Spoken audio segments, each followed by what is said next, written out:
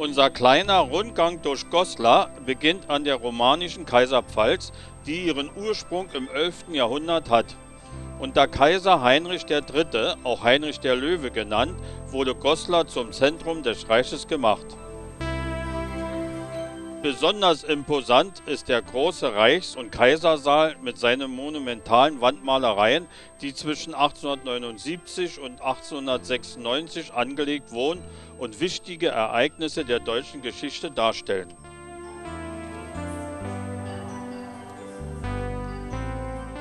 Dieses Bild zeigt die Wiedererstehung des Deutschen Reiches.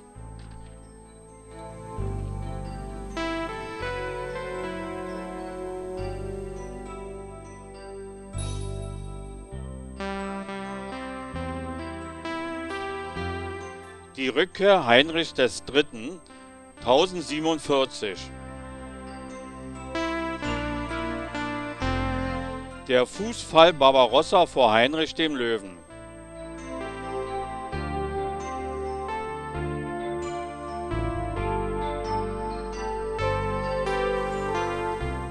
Luther auf dem Reichstag zu Worms 1521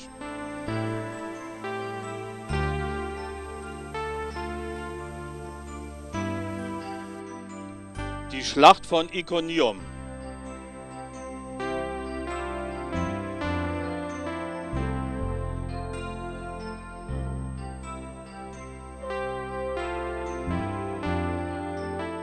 Das Erwachen von Barbarossa.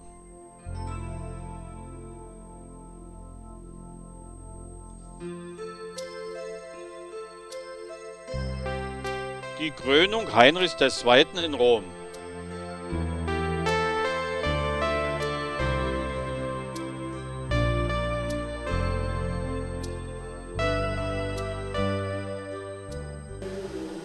Am Südende der Pfalz befindet sich das Grabdenkmal Heinrich des Löwen, das in einer vergoldeten Kapsel das Herz des Kaisers birgt.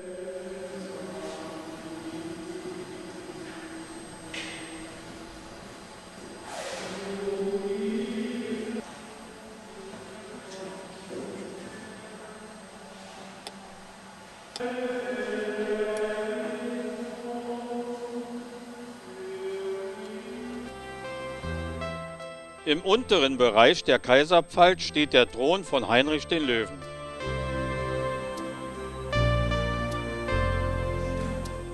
Ferner befinden sich hier viele Ausstellungsstücke des Domes, der vor der Pfalz stand und 1819 abgerissen wurde.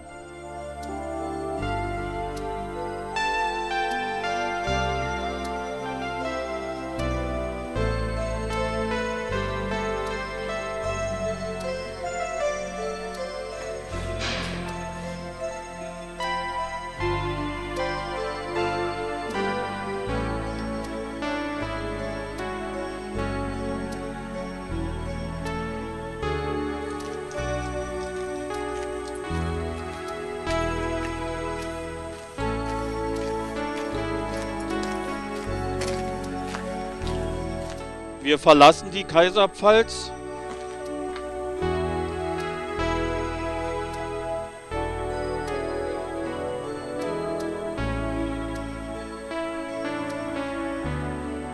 Werfen noch einen Blick in die Domhalle und gehen dann in die tausendjährige Kaiser- und Reichsstadt Goslar.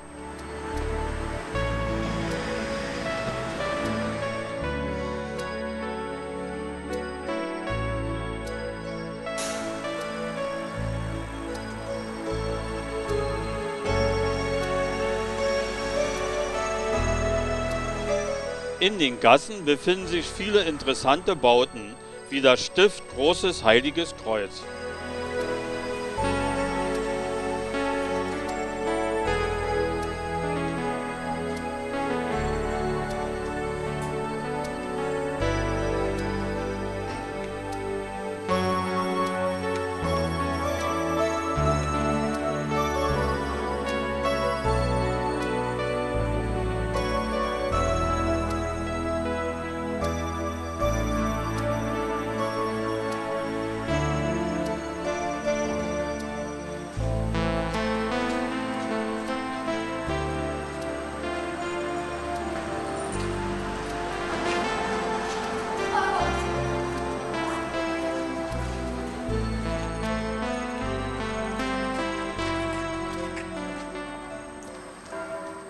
Von den vielen Kirchen der Stadt ist die romanische Marktkirche interessant.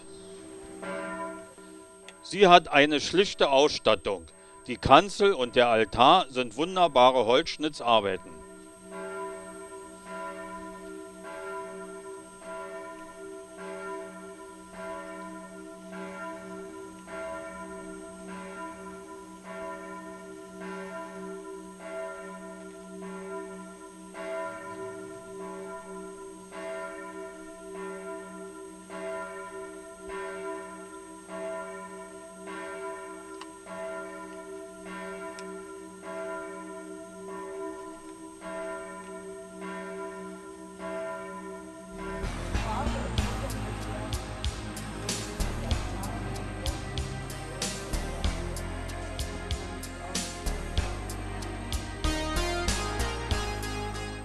Eines der schönsten Gildehäuser ist die Kaiserpfort von 1494 am Marktplatz.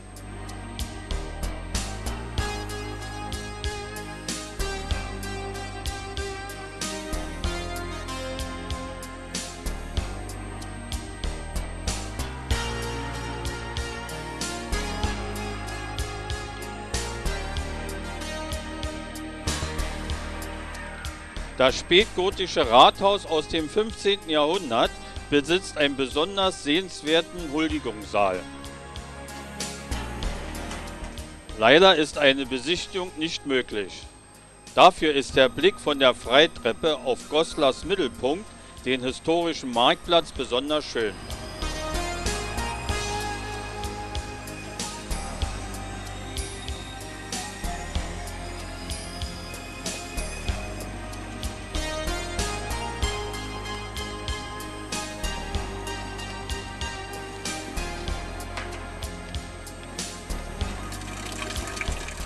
Den Marktplatzbrunnen ziert der goldene Reichsadler.